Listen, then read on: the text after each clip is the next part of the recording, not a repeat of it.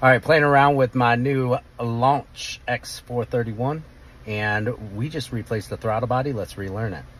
All right, so we go through our vehicles and everything, and then we go to automatically search.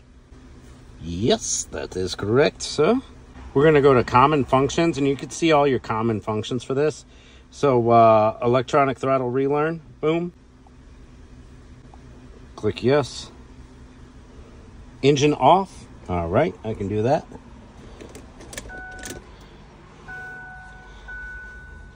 All right, engine is off, key is on the on position.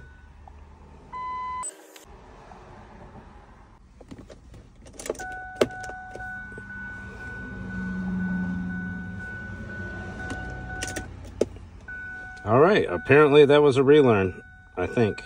So that's cool.